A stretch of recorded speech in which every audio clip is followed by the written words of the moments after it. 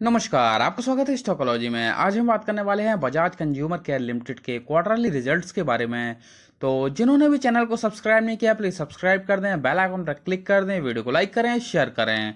तो अब हम देख लेते हैं रिजल्ट्स को। आपके सामने रिज़ल्ट है कंसोलिडेटेड और आंकड़े दिए गए हैं लाख में। बात करेंगे रिज़ल्ट के फॉर्मेट की। तो सबसे लास्ट में जो कॉलम दिया गया है, वो जून इक्कीस क्वार्टर के रिज़ल्ट हैं। सेकेंड नंबर पर जो कॉलम दिया गया है, वो मार्च बाईस क्वार्टर के रिज़ल्ट हैं। और जो आंकड़े आपको सबसे पहले दिखाई दे रहे हैं, वो है जून बाईस क्वार्टर के रिज़ल्ट तो बात करते हैं third number point total income की. जून इक्कीस क्वार्टर में कंपनी की इनकम थी बाईस लाख की. मार्च बाईस क्वार्टर में ये हुई बाईस लाख की. और जून बाईस क्वार्टर में पच्चीस लाख की टोटल इनकम रही.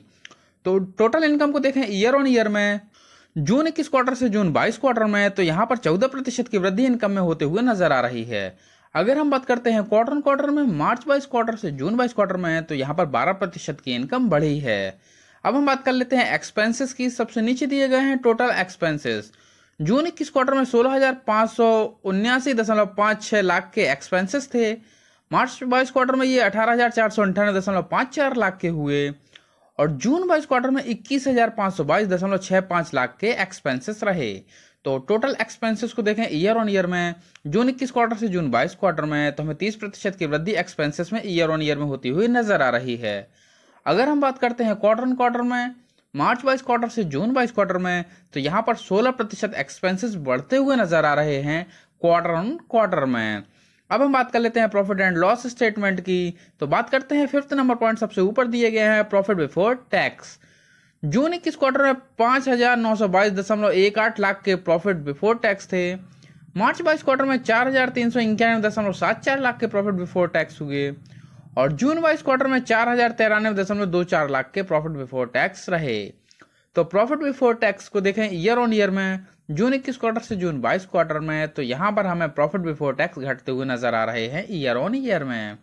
अगर हम बात करते हैं क्वार्टर क्वार्टर में, मार्च बाईस क्वार्टर से जून बाईस क्वार्टर में तो यहाँ भी प्रॉफिट बिफोर टैक्स में कमी होते हुए दिखाई दे रही है क्वार्टर क्वार्टर में।